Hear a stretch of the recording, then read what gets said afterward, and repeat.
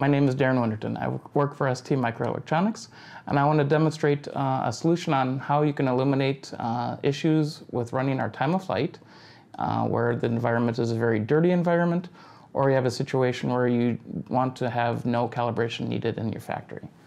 But before I get into that, I want to give a little bit on our time of flight technology itself. So here we're showing uh, a standard time of flight device.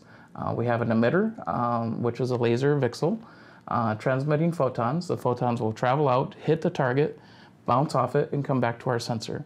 Uh, knowing the amount of time that the photon traveled, we can calculate down to the millimeter that the photon traveled and give you that distance data.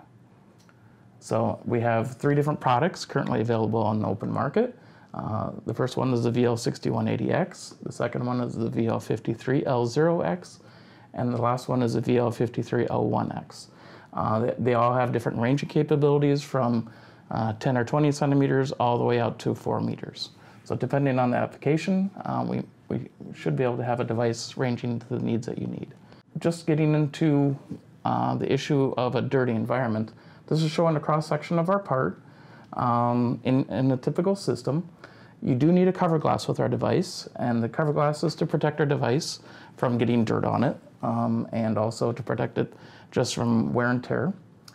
The issue is um, when the green line shows how a photon should be traveling, a photon should go right through the glass, hit a target, and come back. The issue that you might have, especially if you have a dirty environment, is the photon will actually leave our device and bounce within the glass or hit the dirt and then bounce within the glass and back to a receiver. This will cause a very short distance to be seen instead of the actual target distance that you want to see. So this is a VL53L0X uh, eval board, and I just used the standard uh, piece of glass that uh, we give with our eval, eval boards for uh, cover glass testing. If we just put a little bit of debris on it, you can see already uh, that instead of seeing infinity, it's now seeing a distance of two or three centimeters, meaning just a little bit of debris makes this board not work at all. I'll try to blow off the, the dirt and we'll range again and now you can see that it's seeing no target but if I put my hand it's ranging my hand just fine so just a little bit of dirt makes this uh, very uh, unstable for actual operation in a dirty environment. The proposal that we have is showing where we're putting uh, an opaque barrier or divider between the transmitter and the receiver. So the green photons, uh, the ones that we want to hit our target and come back, uh, they still operate just as they were before.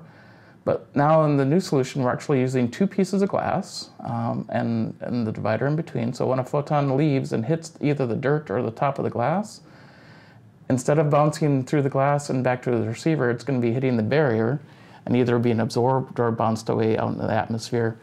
And our device sees none of these erroneous photons causing a short distance. To give you a better visual of the actual uh, holder for the cover glass, this is a 3D step model which is available uh, from ST where if I start rotating it, you can start seeing how the device is working, where you have a hole for both the transmitter and the receiver. On the bottom side, you have the hole uh, for the part to fit in, and then the light blocker uh, in the middle.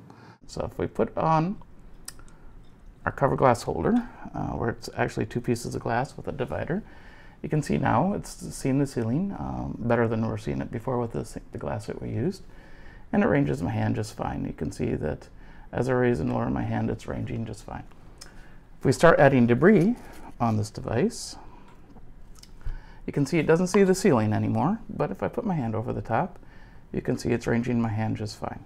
So as I add, keep adding more debris, you can see now it's still, again, still not seeing the ceiling, but if I put my hand, it's still able to range my hand up to decent distances. So now we'll get this cover glass completely filthy.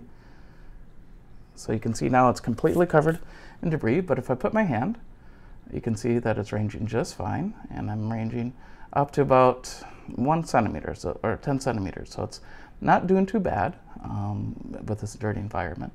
But you can see how effective just putting uh, a simple divider uh, with two pieces of glass really uh, eliminates all crosstalk due to dirt, giving you perfect operation in a dirty environment. If you have any more questions uh, on this technology, please visit our website at www.st.com or contact your local sales representative and they'll be happy to help you out with any questions you might have. Thank you and have a good day.